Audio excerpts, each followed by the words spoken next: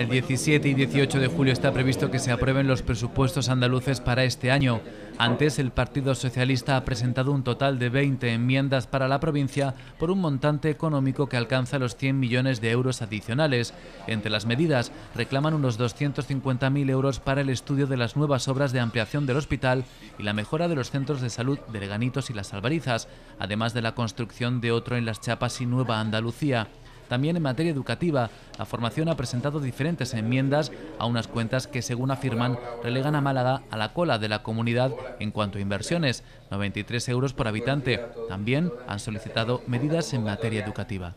En cuanto a educación, ya le decíamos que proponemos distintas enmiendas para mejorar las infraestructuras educativas en infantil y primaria en la zona de la Costa del Sol, eh, mejora de las infraestructuras de secundaria y formación profesional, especialmente con un nuevo IES en San Pedro de Alcántara, un IES en Las Chapas, en Marbella. Los socialistas han afiado al PP que no recoja en los presupuestos las demandas que cuando estaban en la oposición exigían al gobierno de Susana Díaz.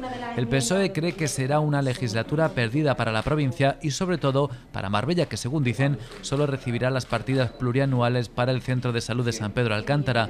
Ninguna inversión es prevista, según los socialistas, para la mejora de las sedes judiciales, para la que reclaman 200.000 euros o para actuaciones en saneamiento y conexiones por carretera. No tenemos el desdoblamiento de la carretera de San Pedro a la Ronda, aunque tengan la indecencia de anunciarlo y no están los presupuestos, y no tenemos las actuaciones de la carretera entre Marbella y Istán y no aparece tampoco las actuaciones de la carretera entre Marbella y Ojen por la zona de la Mairena.